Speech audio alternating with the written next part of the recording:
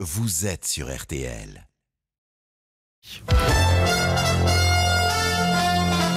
RTL Matin, Stéphane Carpentier.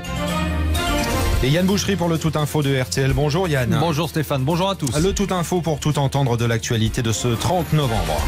Et pour commencer, cette décision judiciaire qui porte un coup d'arrêt au travail de nuit dans les commerces de proximité. Le tribunal de grande instance de Nanterre a en effet interdit à Monoprix d'employer des salariés après 21 heures sous astreinte de 30 000 euros par infraction constatée.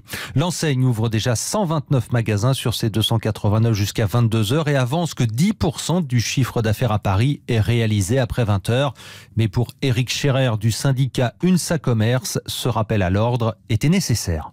C'est un signal fort pour les grandes entreprises du commerce sur le fait que la loi sur la protection des salariés, ça se respecte. Aux salariés, ça renvoie que euh, la justice les protège euh, sur les dispositions sur le travail de nuit. Aux politiques, ça dit euh, attention, il y a des choses à respecter. Et au groupe Casino, bien évidemment, qui est fer de lance euh, pour euh, obtenir du gouvernement euh, des dérogations en la matière, ça dit on ne peut pas faire n'importe quoi. C'est pas parce qu'on est puissant, qu'on est riche, qu'on a le droit de faire n'importe quoi. Ce sont toujours ces grandes entreprises qui se permettent de déroger, de tricher. Donc c'est oui, je me réjouis qu'on revienne euh, et qu'on rappelle les règles. À propos recueilli pour RTL par Armel Lévy, le gouvernement doit prendre une ordonnance sur le travail de nuit justement dans un délai de 18 mois. À Londres, Yann, on connaît désormais l'identité du terroriste qui a tué deux personnes avec un couteau hier au cœur de la capitale anglaise. Et la polémique enfle en Grande-Bretagne. Les autorités ont révélé cette nuit que l'assaillant était un ex-détenu de 28 ans condamné en 2012 pour terrorisme. Il avait écopé de 16 ans de prison pour son appartenance à un groupe qui avait en projet d'attaquer la bourse de la capitale anglaise et d'établir un camp d'entraînement au Pakistan. Il a été remis en liberté conditionnelle en décembre 2018, a indiqué le chef de l'antiterrorisme britannique. Et puis, une autre attaque au couteau a eu lieu hier soir à La Haye, aux Pays-Bas, a priori sans rapport avec celle du London Bridge, Caroline N. L'attaque a eu lieu dans la soirée dans un grand magasin situé sur une artère très commerçante de la ville. L'assaillant a sorti un couteau, il a poignardé trois personnes avant de prendre la fuite. Une scène violente qui a provoqué la panique parmi la foule de clients à l'intérieur du magasin, mais aussi dans la rue, bondée en ce jour de Black Friday. Un cordon de sécurité a été dressé autour de la zone. Des experts ont été dépêchés sur place à la recherche d'indices pour tenter de retrouver le suspect. La piste terroriste a été écartée. Les trois victimes sont des adolescents. Selon les médias locaux, ils ont été ciblés par l'assaillant. Blessés, les trois mineurs ont pu regagner leur domicile dans la nuit. Caroline N. Et en France, à noter que la gare du Nord a été brièvement évacuée hier en début de soirée. Décision des autorités après la découverte d'un obus inerte dans le sac d'un voyageur. L'homme a été interpellé. Au chapitre diplomatique, relations de plus en plus crispées entre Paris et Ankara. À l'occasion de la visite à Paris du secrétaire général de l'OTAN, Jens Stoltenberg, Emmanuel Macron avait estimé jeudi que l'organisation de défense était en état de mort cérébrale, des propos qui n'ont pas plu à la Turquie, membre de l'Alliance et mise en cause pour son offensive en Syrie. Le président Erdogan a répliqué de manière plus que cinglante en parlant du chef de l'État français. Je m'adresse depuis la Turquie au président français Emmanuel Macron. Et je le redirai à l'OTAN. Fais d'abord examiner ta propre mort cérébrale. Des insultes qui ont entraîné la convocation au Quai d'Orsay de l'ambassadeur de Turquie à Paris. Drôle d'ambiance en tous les cas à une semaine d'un sommet crucial de l'OTAN. Et puis ouvrez maintenant grand vos oreilles si vous avez joué à l'euro million début octobre dans la Meuse. Oui, depuis le 26 novembre, la Française des Jeux a lancé un avis de recherche. Elle a précisé exceptionnellement qu'un ticket gagnant a été joué le 4 octobre au bureau de tabac de Bar-le-Duc pour un jackpot de plus de 2 millions et demi d'euros. Si l'heureux bénéficiaire ne se fait pas connaître, la somme sera remise en jeu. Fabien le buraliste de Bar-le-Duc fait tout pour que cela n'arrive pas. Depuis qu'ils nous ont contactés, ben, on a affiché euh, un message euh, pour essayer de prévenir les clients, voir un peu, ils un peu, sinon pas des tickets gagnants.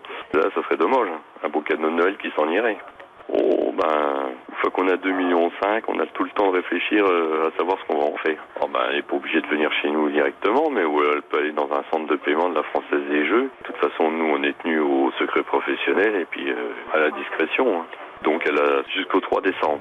Fabien, le buraliste de Bar-le-Duc, joint par Marion Ferrer pour RTL et pour peut-être rafraîchir la mémoire de l'heureux gagnant, s'il nous écoute, on prendra juste 10%. Il a joué le 6, le 9, le 35, le 41, le 44 avec 6 et 9 pour les étoiles. C'était donc le 4 octobre. La date limite est fixée à mardi. Le football et la Ligue 1, Yann, l'OM poursuit sa série avec une quatrième victoire consécutive. Oui, hier soir au Vélodrome, Marseille a dominé Brest 2 1. Les Bretons ont égalisé à la 88e, mais Radonic a marqué le but de la délivrance dans la minute suivante. De quoi donner des regrets à Olivier Dalloglio, l'entraîneur brestois. Ça a été court, hein. ça a été vraiment court. Non, contre le cours du jeu, on arrive à marquer. Il faut reconnaître qu'on a, vraiment subi. Et puis, euh, quand on a la chance à, à 3 minutes de la fin de marquer. Je pense qu'on doit être capable aussi de, de, pouvoir résister un peu plus que ce qu'on a fait. Ça montre encore tout le travail, tout le chemin qui nous reste à faire. Il est énorme et on a vu la différence entre, entre les deux équipes là-dessus. À propos recueilli pour RTL par Michael Lefebvre, l'OM revient provisoirement à 5 longueurs du PSG. Suite des rencontres aujourd'hui avec Strasbourg-Lyon à 17h30. Les autres matchs à vivre dans le multiplex RTL Le Parisien aujourd'hui en France, auquel participera Bichente Lizarazu de 20h à 21h. Notre consultant équipe de France reviendra sur le tirage au sort de l'Euro 2020 qui aura lieu à 18h30. Ce sera en direct dans On refait le match avec Denis Balbière. Notez-le, les Bleus affronteront forcément l'Allemagne, l'Angleterre, l'Espagne ou l'Italie.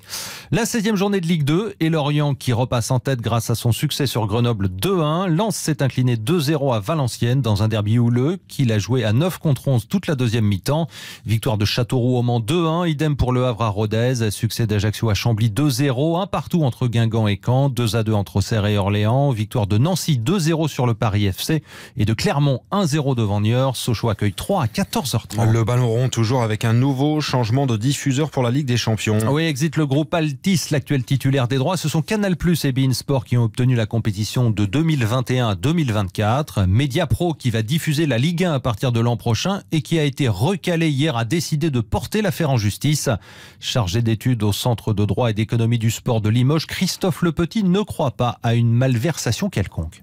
On peut pas se permettre de la bidouille et de toute façon si bidouille il y a eu on le saura puisque Mediapro a visiblement intenté une action en justice contre l'UEFA. Non, on est dans une procédure de toute façon où le vendeur de droit à quelque moment que ce soit n'a pas intérêt à ce que un acteur soit en situation de monopole parce que la situation de monopole euh, ne génère pas l'inflation ou l'augmentation de, de, revenus que vous pouvez attendre. Donc euh, l'UEFA dans son appel d'offres avait très certainement mis à la fois des critères financiers et des critères qualitatifs qui ont très certainement fait en sorte que euh, malgré une offre financière peut-être moins intéressante de Canal Plus et de Bein, eh bien peut-être que les critères qualitatifs ont pris le dessus et peut-être que l'UEFA avait aussi des doutes sur euh, la solidité de l'offre euh, proposée par Mediapro. Christophe Le Petit du Centre de droit et d'économie du sport de Limoges hier soir sur RTL. On termine avec un mot de handball. Début aujourd'hui des championnats du monde au Japon. Les Françaises tenantes du titre et championnes d'Europe affrontent la Corée du Sud à partir de 10h. 10h, rendez-vous est pris. Merci Yann Boucherie. Toute info de RTL, l'actualité quand vous le souhaitez. Vous allez cliquer rtl.fr. On embrasse Roselyne qui nous écoute à Tarbes ce matin. Il y a 5 degrés. Et puis de l'autre côté, dans le Var, au Pradet, Nathalie est connectée. Tout va bien, nous dit-elle. Il y a 9 degrés. On vous souhaite un bon début de journée, bien sûr. On va parler euh, automobile dans un instant avec Christophe Bourreau et du terrible malus qui va évoluer. À tout de suite. Passez une bonne matinée avec RTL. On a tellement de choses à se dire.